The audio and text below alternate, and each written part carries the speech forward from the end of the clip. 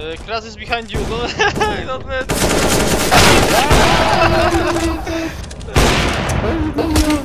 Sold out.